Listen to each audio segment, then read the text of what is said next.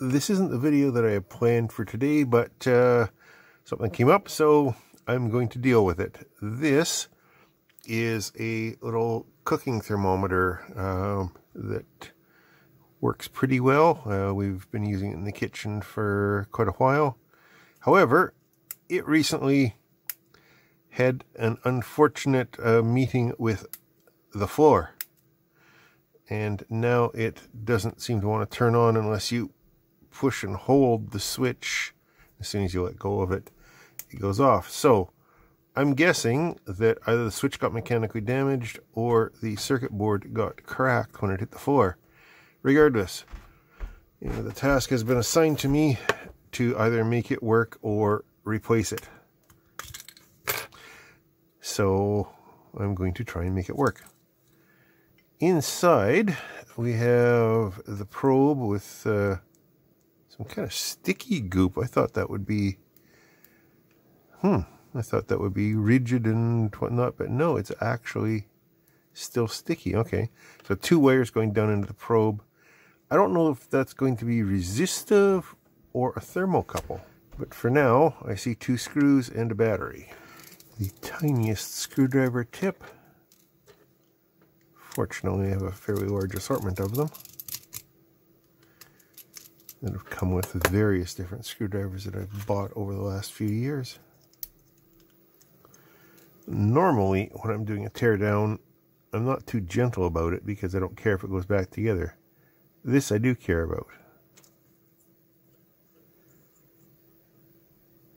Hmm. Okay, those switches are cheaper than I thought.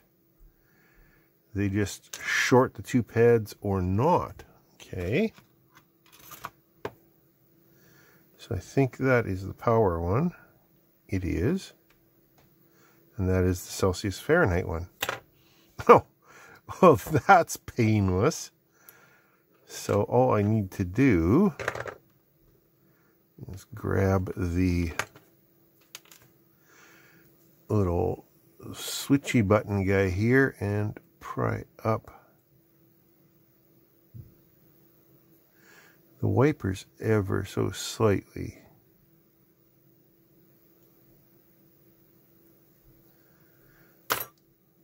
Can it be that easy? Well, while we're in here, let's look at what we've got. We have an LCD. It looks like it's attached with a, one of the zebra stripe things. We have a few passive components. Oh, I can see the ubiquitous blob underneath there. And then another couple of resistors and a capacitor. And then just the battery and the temperature sensor on this side. Hmm Know what J1 and J2 are doing on the back. They're test points, obviously. Actually, no, wait a minute. Those look like split pads. That one is connected, and that one is not connected. Hmm. Some sort of options. Wonder what happens. Well, I'm going to reassemble this quickly, which is going to be fairly straightforward At least it should be, I think. Do I need to give that a little nudge to get it in? That's not good, although maybe it'll help us. So there's the LCD, been knocked off its moorings. I'm always so scared of these zebra stripes because they always seem like such freaking magic.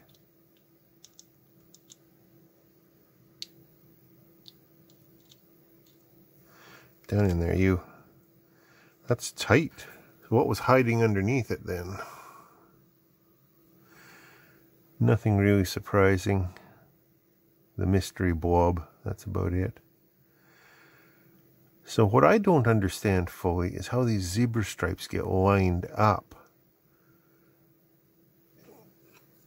But I'm hoping that it will line itself up just automatically when I uh, put this back together here. Maybe it is just the precise alignment of uh, all these components in this cheap injection molded case. So let's see what happens. Comes on.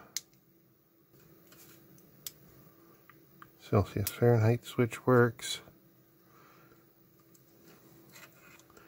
That's still not working properly. Hmm.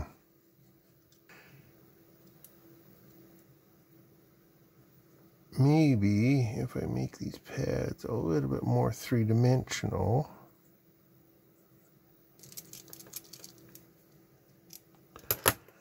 Okay. There we go. It's on. Switches to Fahrenheit.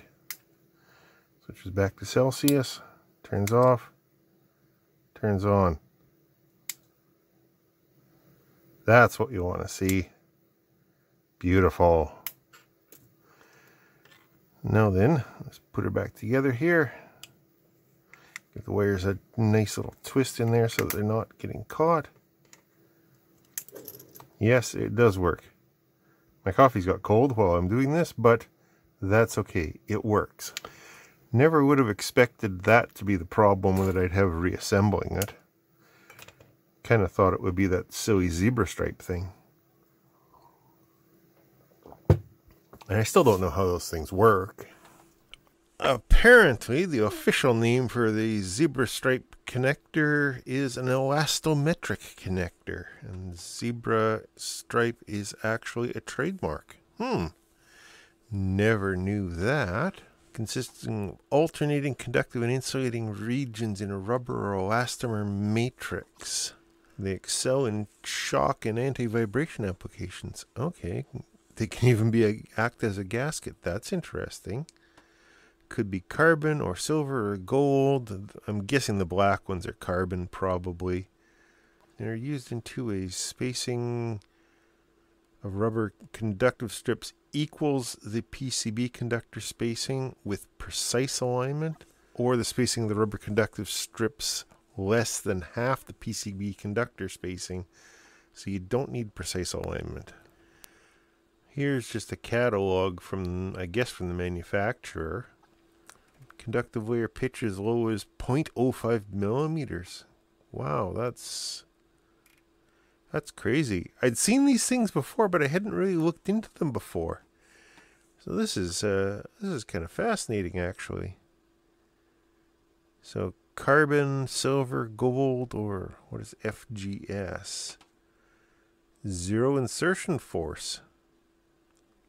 And that uses gold plated. Wow different pitch spacing, conductive layers per per inch, up to 500 conductive layers per inch. Wow, that's a super fine pitch. So here's the thing that the article was talking about, the Wikipedia was talking about. This one's got a whole bunch of really narrow conductive and insulating strips.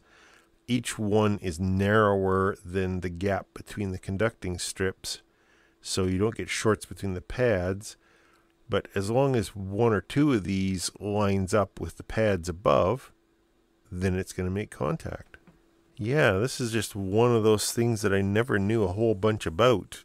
And about all I knew about them was they existed and they worked like magic.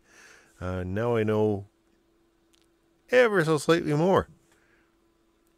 But this is uh, another one of those advances in technology that's happened sort of in the interim since I used to work on component level stuff decades ago, and now that I'm getting back into it again. And it's fascinating and just a little bit scary. Oh, here we go. Current carrying capacity per wire, so per conductive stripe, 250 milliamps per max. Wow, that's crazy. Less than 25 milliohms per contact pad at 100 milliamps. I'm going to put a link to this down in the comment there in the description, just uh, rather than me just going through here and rambling about it. Uh, if you're interested, uh, feel free to take a look. Well, that was a fascinating little detour I hadn't expected to go on. Uh, all because this thing got dropped on the floor. Not the video I was expecting to do today, but what's life without a few surprises once in a while? Thanks for watching. Comments, questions down below. I will talk to you later.